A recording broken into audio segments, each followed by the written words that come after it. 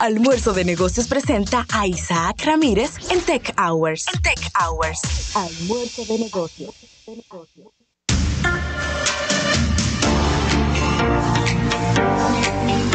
Hay una situación con YouTube ahora mismo. ¿Qué? Ustedes- Ustedes saben que YouTube Cuidado. ha estado caliente este mes.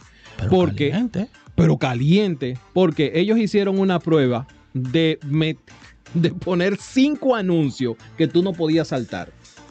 Lo Cinco. Cinco. Cinco. O sea, antes de tú ver cualquier video de YouTube, tú tenías que tirarte cinco anuncios, uno detrás del otro. Yo creo que en algún punto se pasaron. Bueno, pues la gente se lo comió vivo en redes sociales. Lo quitaron. Lo que tenemos el YouTube, la versión gringa, que vemos la versión gringa, tenemos dos que no podemos saltar en este momento. Ok. Ok, pues esta semana. Por cierto. Spotify en Estados Unidos, desde que tú entras al territorio estadounidense, no es, no es de a un anuncito, como nos ponen aquí a nosotros. No, no, no, no. Es de tres para allá. Sí, es una locura. Yo estaba oyendo Sí. música en Spotify en- en- en- cuando estuve en Pensilvania y es de tres para allá. Sí. Sí. Y yo, ¿pero y qué es esto? Sí, Sí, pero pero ¿A déjeme oír te olvida música. que tú estabas oyendo? ¿Eh? Se te olvida que tú estabas oyendo. No, pero eh, y yo tenía en ese celular, no, te- Verdad. no tenía la versión Premium. la versión premium y oye, me ponía anuncio y anuncio y anuncio. Sí, es como tú estás escuchando una emisora. Literalmente. Ya. Literal. Escuchando una emisora. Bueno, lo que está ocurriendo con YouTube es que algunos usuarios han empezado a ver que cuando quieren ver el contenido en 4K, YouTube le dice, debes tener una suscripción premium. ¿Cómo? Y sí, le, Sí, es aparece Es premium o to Ay, upgrade ay, ay, para poder ver este contenido. Sí, sí, es verdad. Ese es el nuevo o la nueva prueba que inicia, así inicia octubre con YouTube este asunto. Eh, recuérdense que el YouTube Premium cuesta 12 dólares mensuales. Nada más. Nada más y nada menos. Que entre otras características, obviamente no tiene anuncios, puedes descargar el contenido y todo eso.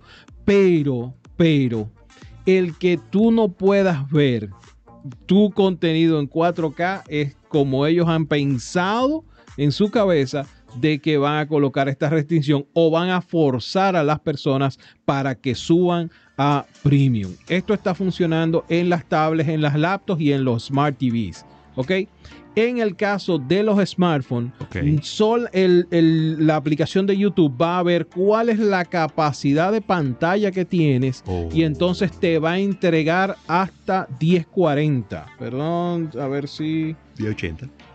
Que es Q- eh, QHD, exacto. eh, 1440p, Ah, que es 1440. QHD.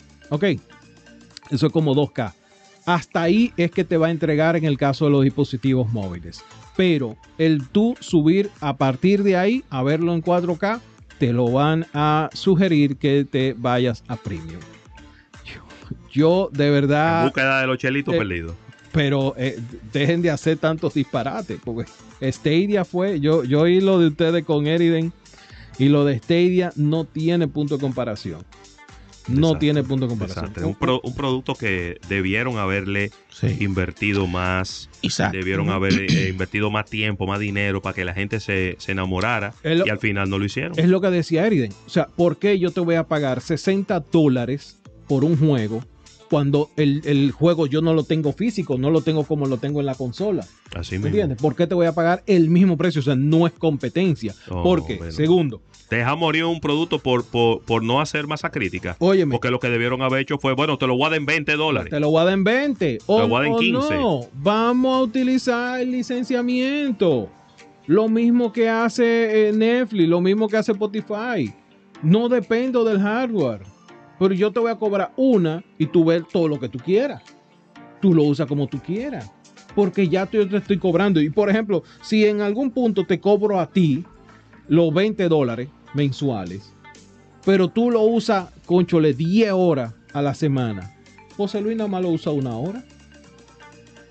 Y le estoy cobrando los mismos 20 dólares. Entonces estoy obteniendo un beneficio por ahí. Pregunta a Alejandro Montero que cómo él puede ver YouTube Estados Unidos. Hay múltiples formas. Si utilizas VPN, vas a poder decirle físicamente dónde estás y YouTube va a asimilarlo. En mi caso utilizo una, un dispositivo, un router adicional que se llama Stream Locator. Y lo que yo le digo al router es tales o cuales aplicaciones van a estar físicamente en tal país. Por ejemplo, el Netflix mío es la versión londinense, en el caso del el Amazon Prime es la versión norteamericana, en el caso del YouTube es la versión norteamericana. Eso uh, hay una situación. ¿Por qué yo tengo ese equipo? Porque los televisores Samsung, no sé si los otros, es lo probado en televisores Samsung, detectan cuando tú estás detrás de un VPN. Y es ilegal. Sí. Para ellos eso es ilegal. Mm. Y no hay forma de brincarlo. Mm. No puedes instalar aplicaciones de VPN en el, en el televisor, no las coge ni por APK ni descargar. Recuérdate primero que es Tyson, o sea, no es Android. Entonces, ah, yo tenía esa situación de que necesitaba ver un contenido, consumir un contenido que estaba fuera de Estados, eh, que estaba en Estados Unidos, que estaba fuera incluso de Estados Unidos, pero desde aquí no se podía y desde el televisor no lo podía hacer. Así que hay un equipo intermedio al cual yo me conecto y entonces ese equipo se encarga de decirle a cada una de las aplicaciones a las que yo estoy levantando dónde están físicamente. Es diferente a un VPN, pero este, este te, te da esa funcionalidad.